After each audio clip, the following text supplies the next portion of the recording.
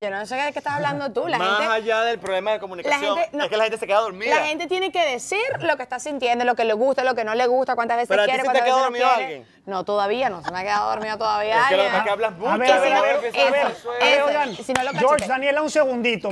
En lugar de estar discutiendo, dudas o no, por eso está con nosotros la doctora Cecilia Alegría para resolvernos no, todas nuestras dudas sobre sexo.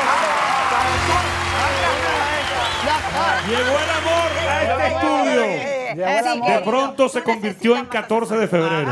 Doctora, yo me quedo dormido, pero es que tengo un sueño. Oh, pero eso está mal. Tú tienes que tratar de tener toda tu energía para el momento en que estás con Sí. esa persona especial. Doctor Amor, antes de entrar en el tema de los cinco errores que cometen las personas, las parejas en la cama, yo quiero saber un tema que a mí me interesa mucho, la eyaculación precoz. No es ¿Cómo? que a todos algo que a todos nos interesa. ¿Cómo podemos remediarlo? Sí, es cierto que la mayor parte de hombres, mira, un 40%, esta estadística es importantísima, porque la gente cree que le pasa a uno que otro, no. Y dependiendo sobre todo de la edad, a mayor edad, mayores probabilidades, hay un 40% que están sufriendo de esto y por cierto la mujer no se siente complacida. Pero esto tiene arreglo y tienen que ir al médico. No huyan del doctor. Por el contrario, el doctor es el gran amigo y van a haber tratamientos y van a salir adelante. buenísimo, ahí está la respuesta. Ya listo. Después del perro, el doctor es el gran amigo. Ah, doctora, pero O el perro del doctor, cualquiera de las dos.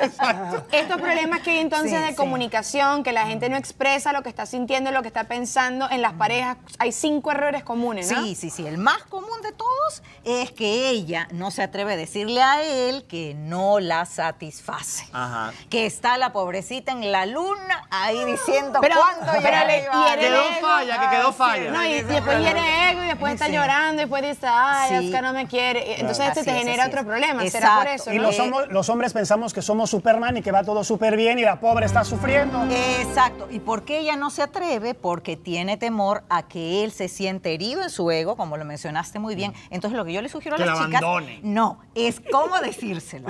Hay que aprender a decirlo. Entonces, la mejor forma. Como cuando quedas con hambre, que de falla. Entonces, la mejor forma es decirlo de una manera delicada y orientarlos en el momento del acto sexual para que ellos sepan lo que nos gusta, porque no tienen por qué adivinar. Entonces hay que explicar, entrar al detalle, conducirlos y el hombre inteligente, ese hombre inteligente, se da cuenta que ella quiere ser satisfacida y atención, señores, mientras ella más satisfecha está, más probabilidades de que ustedes tengan su clima. Siguiente error, doctora. Sí, perdón, ahí po- hay que estar con cuidado ahí, porque si te dicen, lo hiciste bien, pero has podido hacerlo mejor, no lo estás satisfaciendo. Malo, malo, Ay, malo. papá, El- boca el con ese comentario. sacaste una D. Sea, de menos, de los ritmos de sexuales menos. también, ¿no? Así es, los biorritmos sexuales son importantísimos. Lo vimos la primera vez Sí. que vine aquí, la vez anterior. El tema de los biorritmos. ¿Qué sucede? Algunos caballeros quieren todos los días, pero no hemos hablado del caso, y lo hay, de las mujeres que son aquellas que son fogosas, son multiorgásmicas, y le dicen al marido, no me satisface porque tú estás una vez por semana. Sigue, padre, sigue, sigue. Y adivinen, No, en pare, ese sigue, caso, sigue. ¿por qué ocurre?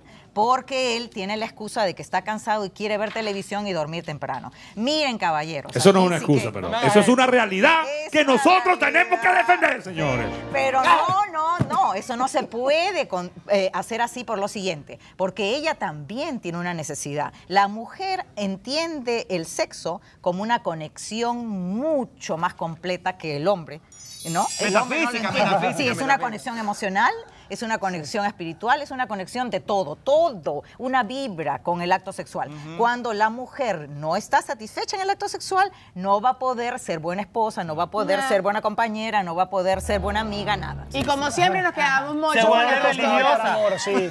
La esperamos, la esperamos el lunes que viene, doctora, para que nos siga que sí. diciendo todos estos consejos. Feliz Se nos acaba el tiempo, pero qué bueno tenerla, doctora. Un aplauso.